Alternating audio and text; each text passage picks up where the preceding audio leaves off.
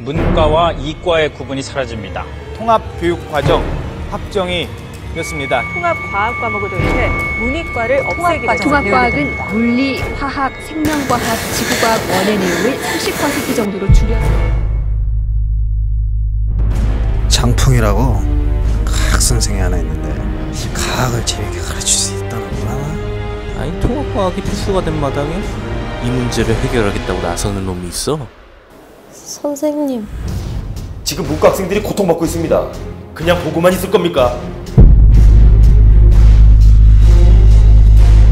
과학을 재미있게 한다. 말이 됩니까? 통합과학은 물리, 화학, 생명과학, 지구과학이 필수입니다.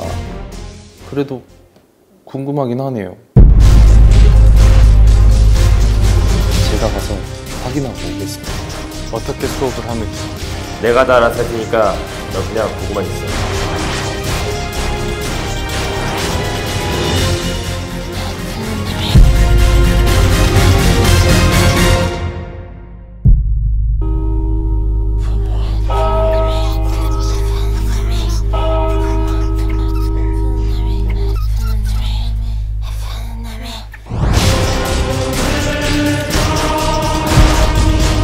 그 애름의 뭉타지 싼 푸네나 말 귀당겨 말.